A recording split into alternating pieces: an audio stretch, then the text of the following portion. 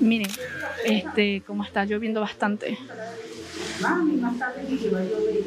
Amigos, bienvenidos al canal, yo soy Lindsay y el día de hoy estamos en el Cerrito, que es una zona colonial de Venezuela, pero quería mostrársela más pero hay un palo de agua, está lloviendo mucho, más bien se ha calmado un poco la, la lluvia. Y ahorita se la vamos a estar mostrando porque esto no es normal eh, en Chile, por ejemplo, pero en, acá en Venezuela sí, o sea, palos de agua parejo, pues. Palos de agua es que llueve mucho. Y bueno, miren cómo, esta es la zona colonial. Miren cómo se ve por allá, pero no puedo salir mucho, que está lloviendo mucho. Y es normal, por ejemplo, ande la gente así, los motorizados, por ejemplo, porque aquí hay muchas motos ande así con plástico, eso, eso es muy normal, porque aquí hay muchas motos como, como esta, como otra, porque aquí todo el mundo se, se maneja en moto por, ¿sabes? por la recesión que ha habido de, de, de, la gasolina. Aunque, aunque este, ha habido más gasolina ahorita últimamente y también ha habido, eh, bueno, ustedes vieron, y todo dolarizado, eso sí. Hoy estamos en una pizzería eh, se llama el Frontino aquí en Sanare, Venezuela. Y miren, esto, y encontramos esto, estos son los billetes de, de antes. Y como no sirven para un coño, pues la gente lo, lo, lo, pone de retrato, pues. Cuéntanos un poco sobre lo que es los billetes, por qué los colgaron ahí y los tipos de billetes que existen. Bueno, se colocaron ahí por la cuestión de tantos billetes que han pasado Ajá. en poco tiempo y más los que ya estaban. Pues. Ajá. Ahí están desde el año 1900 y algo. ¿Cuál sería como el de 1900? ¿Ese que dice un bolívar? Bueno, este por acá dice que es de mil, octubre 5 de 1969. Ya, este que está aquí, miren chicos, los primeros bolívares que existieron. Y de este comienza y ese es su ¿cómo le diría eso? Pues, La dominación que había, la- ajá, bueno, que había en Venezuela. comienzan y así sucesivamente Ajá. hasta ahorita que son estos ¿Cuáles son esos? estos son El, ah, el millón y los cinco mil, los, los, más 500 mil. que, que tenemos ahorita, ¿ves? Pero este, nos faltan algunos aquí Ajá. porque la, la Igual. de 5 mil y de 10 mil, esos son los que nos hacen falta por los momentos. Pues. Para completar la colección, pues, Ajá, que existe actualmente. Exacto. Ya. Mira, y échanos un cuento, ¿qué haces, ¿qué haces acá, por ejemplo? Bueno, mira, este, acá mi trabajo es atender a la gente. Ajá. Mi trabajo es explicarle a, la- a los clientes cuando llegan cómo van las comidas, porque nosotros tampoco nos sacamos pizza, también Ajá. vendemos pepitos, hamburguesas, perros. Lo típico venezolano. Ajá. Y bueno, entre otros, no, no tanto en eso, sino que Ajá. también se sacan almuerzo. Se sacan almuerzo, este pasticho, milanesa a la plancha, a la broster. ¿Y desde cuándo están funcionando acá? Ya llevamos dos años acá trabajando. ¿Y qué tal ha sido durante estos dos años por la pandemia y aparte por, por el gobierno? Pues al principio todo era un poco costoso porque la gente llegaba y iban a comer, tenían que salirse porque nadie podía comer acá, sino Ajá. que todo era para llevar. Y si ya era las 8 de la noche, ya nadie podía estar por las calles, sino que ya... ¿Por qué no podían estar en la calle? Porque decían que eran por la cuestión de la pandemia, pues ya nadie podía estar en las calles. Ah, por la pandemia. Y hace unos años atrás, sería como unos tres años, eh, la delincuencia o algo así por el estilo acá. No, pues ya gracias a Dios, ya eso, yo de mi parte, yo no he Ajá. escuchado más que se robaron nada de eso, porque este, acá hicieron como una brigada, Ajá. entonces esa misma brigada se encargó de como que de, exterminar eso. todo eso ¿Ya? y este, terminar con todos esos delincuentes. Ah, ok, ya. Listo, bueno. ¿Cómo es que es tu nombre? Bueno, mi nombre es Daniel Meléndez. Daniel, listo. Bueno, Daniel, muchas gracias por tu entrevista y bueno, también contando la- las anécdotas de cómo pasó la pandemia aquí, aparte de cómo sucedió todo, pues sobre todo antes de, antes de la pandemia, porque cuando antes decían que Venezuela estaba súper, súper mal, eh, por ejemplo, si yo te pregunto, ¿cómo hacías para los ingredientes, para hacer las pizzas? ¿Cómo hacías para conseguir eso? Porque para mantener un negocio es difícil. Pues eso se teníamos que llamar a la por, para la tienda y este, ellos traían la, La harina. la harina y todo eso para acá. Ah, Porque como nadie podía salir y el que salía, no se lo multaban o se lo llevaban. ¿Se los llevan presos? Se lo llevaban. Y- En un tiempo de que nadie podía salir porque andaba un convoy desde la guardia y los montaban ahí y se los llevaban. como si fuera toque de queda. Un toque algo así. No, no sabíamos eso, nos estamos enterando. Ya, bueno, muchas gracias entonces por tu entrevista Bueno, y bueno, ahí, ahí estamos pendientes en el canal. Si quieres invitar a la gente para el canal también, es Lindsay Hick. Bueno, los invitamos a que sigan a Lindsay Hick. Inci y los esperamos por acá en Sanar Estado Lara. Bueno, muchachos, estamos en San Estado Lara. Es el jardín de Lara, ¿oyeron? Para que sepan. Entonces, él explicaba, ahorita el muchacho nos explicaba que este es un billete de un millón. Miren, un billete de un millón.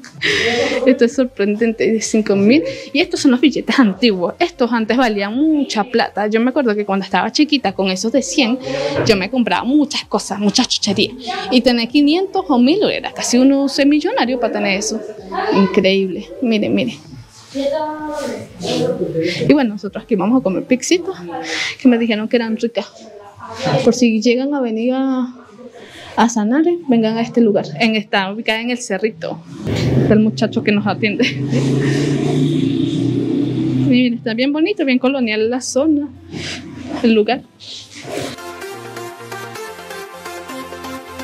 Y la verdad no nos quejamos de esta enorme pizza. Estaban súper ricas y divinas recomendadas, muchachos. Eso sí, muy, muy recomendada la pizza.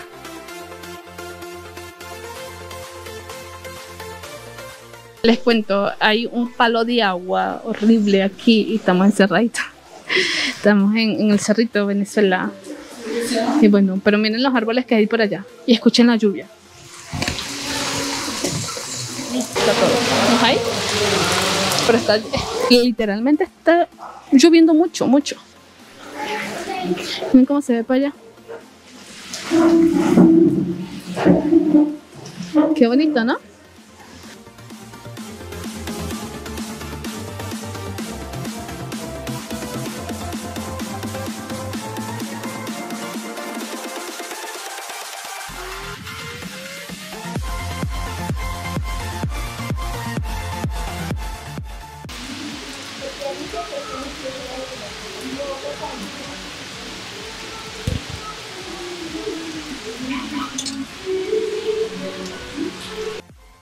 Sanare fue fundada en el año 1620 por Francisco de la Hoz Berrios y por mucho tiempo fue parte del distrito que hoy es llamado Municipio Jiménez hasta el año 1981 que pasó a ser independiente. En el tiempo de la colonia española estuvo ligada a la jurisdicción de El Tocuyo. El Tocuyo fue la segunda y definitiva capital de la provincia de Venezuela entre los años 1545 y 1577.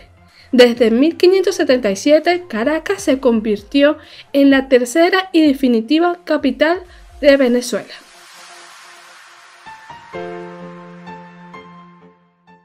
Hoy estamos nuevamente en, seguimos en Sanar Estado Lara, Venezuela. Este, vamos a ir a una zona que también es centro turístico de acá y donde también todos los 28 de diciembre se hacen actividades recreativas para los turistas. Antes, mucho antes, llegaban turistas de todo el mundo para celebrar el 28 de diciembre, mejor llamado como la Zaragoza o el Día de los Inocentes, también conocido por muchos. Vamos a seguir caminando por acá.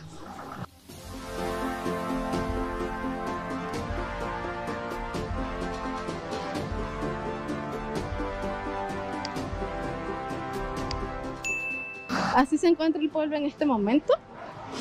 Si me preguntan a mí, la verdad he visto el pueblo muy activado, a como cuando yo me fui, que todo estaba muy desolado, no había nada, los supermercados vacíos. Y ayer fui a un supermercado y había de todo, literalmente. No es la Venezuela que yo recuerdo y de verdad está muy, muy, muy bien. O sea, ha progresado mucho. Sí, amigos, yo sí estaba súper sorprendida porque en esta parte del país, al menos en mi pueblo, yo veía realmente un cambio. Y no digo que Venezuela se arregló porque eso no ha pasado, pero sí está cambiando poco a poco. Y además, habían gasolineras que estaban dolarizadas y otras subsidiadas por el gobierno. Más adelante te estaré hablando sobre este detalle.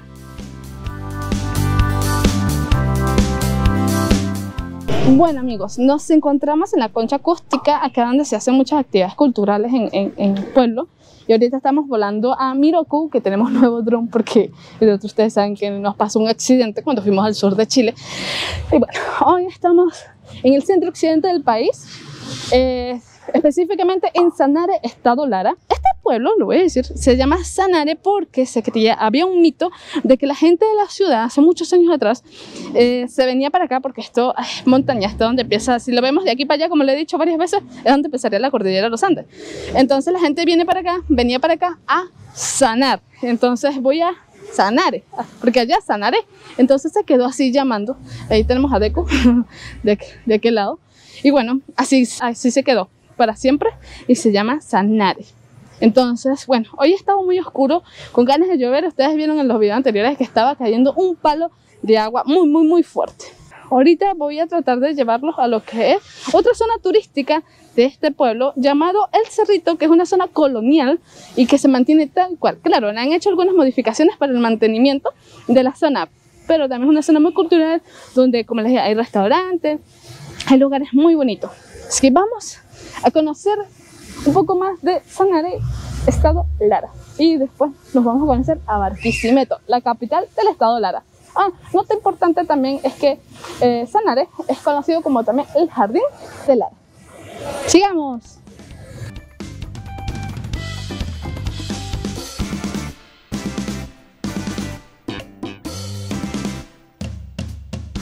Sanare es un pueblo de grandes tradiciones y aparte de eso representa un importante eje de la producción cafetalera.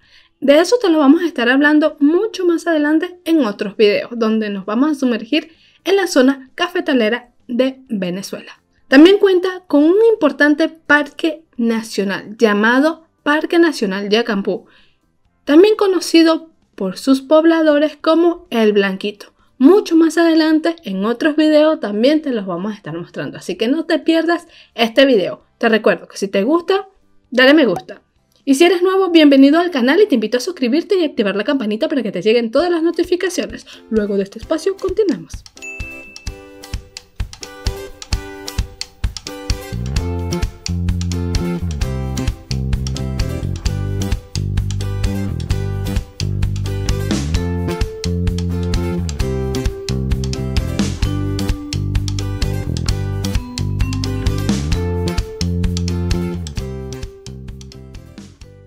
El día de hoy no está lloviendo, gracias a Dios. Eh, si está algo oscuro, el clima, creo que venimos en, mal temporada. El primer día que intentamos grabar acá, pues estaba lloviendo mucho y no podemos grabar mucho. En este momento nos encontramos en el, Cerrito, es un centro cultural del, de Sanar Estado Lara. Eh, muy turístico, por cierto, porque es bien bonito perteneciente a las casas coloniales de aquella época, de los años donde se fundó Sanar Estado Lara. Actualmente estamos, estamos en los juegos, juegos de bolas criollas. Acá que se hace, bueno, el deporte nacional eh, o característico de acá, de juegos criollos. Miren esto cómo se ve tan bonito. Flores típicas acá para adornar. ¿Y dónde estamos? Acá estamos en una, en una cafetería y también donde hacen muchas artesanías también. Así que cuando quieran venir pueden llegarse al cerrito.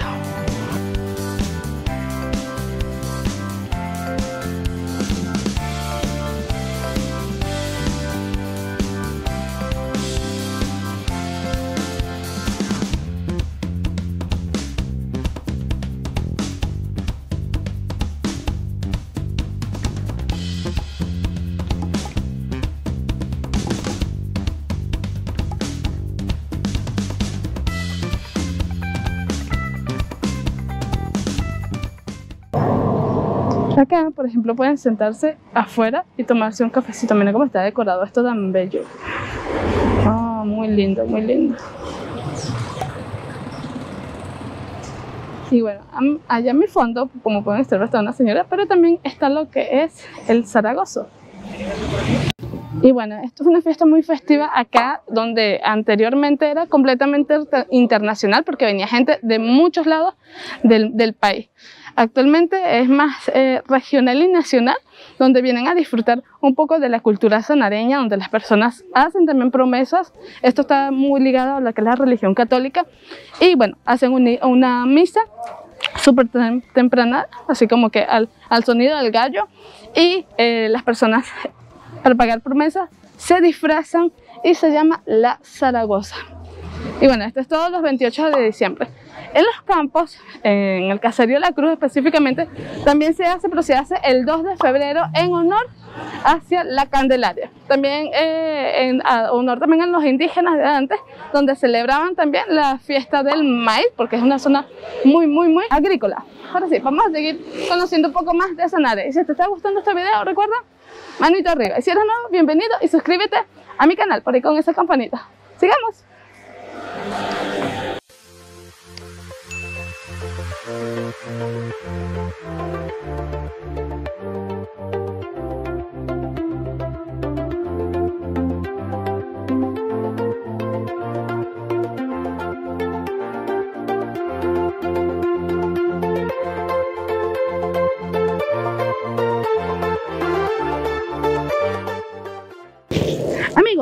Quiero, quiero decirte que también Sanare está ubicado a más de 1300 metros sobre el nivel del mar. Exactamente te voy a dejar la fecha acá de, de la altura de este pueblo porque es la parte más alta del estado Lara.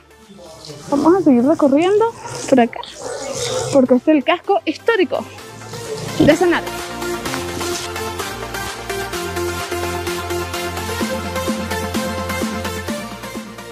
Este, esta es la chocolatería El Cerrito. Acá tenemos, acá tenemos café, chocolate, toddy, batido.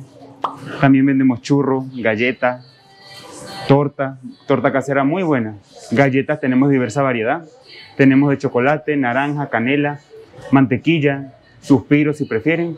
Diversa variedad de chuchería. Tenemos chocolate, chupeta, este, gran variedad. Oye, y el café, cuéntanos un poco, estoy viendo una, una broma de café cuéntanos cómo es el proceso y aparte si es café de acá, porque Sanare se caracteriza por ser cafetalero. Sí, bueno, Sanare es una de nuestras principales características de ser una zona de café. El café que usamos acá es café tinco, café muy bueno, café puro y local, que es lo más importante.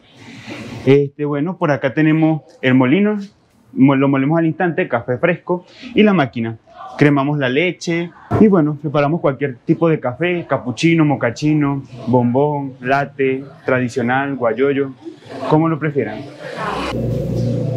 Y estas son artesanías eh, de acá, la Divina Pastora y eso, ¿cierto? Ajá.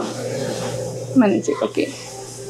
Bueno, aquí las personas son muy, muy religiosas, entonces tienen también sus santos. También nos explicaron que tenían su propia miel acá, miel pura, así totalmente pura, sin ser procesada. Y aquí, por ejemplo, esto es la réplica de la iglesia Santa Ana que ustedes la vieron hace poco. Miren, qué bonito, ¿no?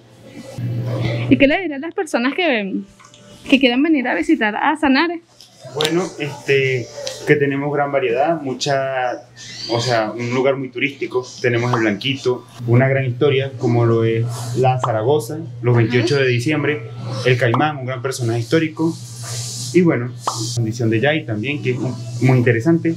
Gran, mucha diversidad en naturales, por decirlo así, que también nos caracteriza mucho. Bueno, muchas gracias entonces por tu entrevista. tu nombre, por favor? Mi nombre es Carlos Colmenares, desde Sanare. Estado Lara. Estado Lara. Bueno, vamos a seguir recorriendo acá el, el, cerrito. Si no me escuchan bien es porque estoy un poquito ronca, pero el cambio de temperatura que es muy brusco, porque aquí sube y baja, aquí estamos también, bueno, Sanar es parte, o si lo vemos de aquí para allá, es, es, parte de la cordillera de los Andes. Si lo vemos de acá hasta Chile, si lo vemos de Chile hasta acá sería donde finalizaría. Acá vamos a ver un monumento a un personaje muy famoso que también que se llama o se llamaba, porque murió hace poco, el Caimán de Sanare. él es un cuentacuento y siempre salía con la Universidad de la UCLA y lo, llevaban a todos los campos que existen acá, que a las siguientes parroquias como el Yacambú, eh, que estamos actualmente en Pío Tamayo, parroquia, porque aquí están por parroquias y no por comuna, y Quebra- Quebrada Onda de Guache, donde la Universidad de la UCLA, conjunto con sus pasantes, eh, cuando hacían como la presentación de proyectos, el, famoso Caimán estaba ahí.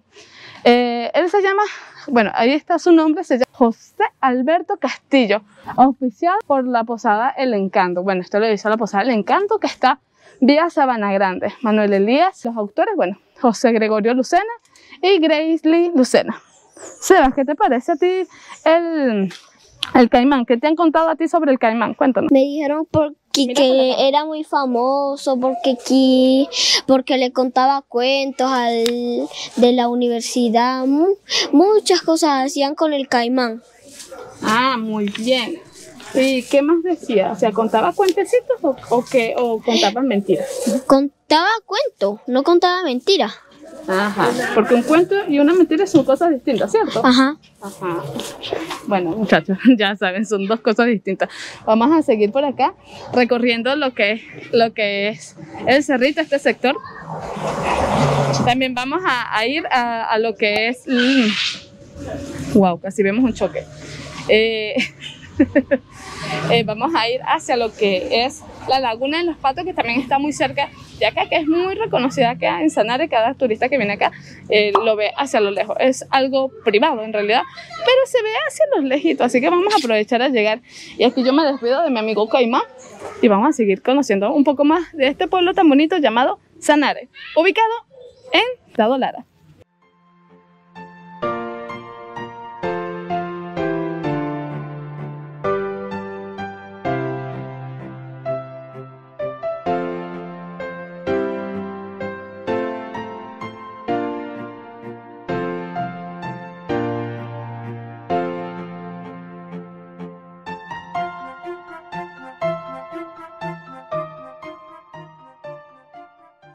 Esto aquí es la paca.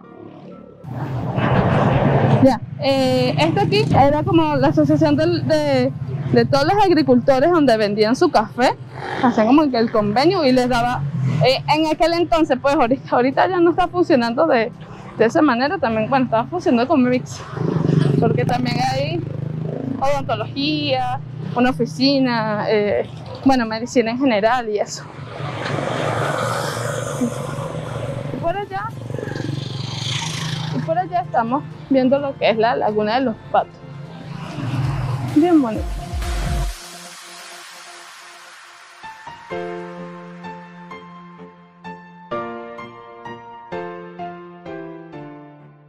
Bueno amigos, espero que les haya gustado este video. Me despido con estas imágenes. Gracias por verlo, nos vemos en la próxima. Y recuerda dejarnos un comentario acá abajo. ¿Qué te pareció mi pueblo? Gracias por el apoyo. Chao, chao.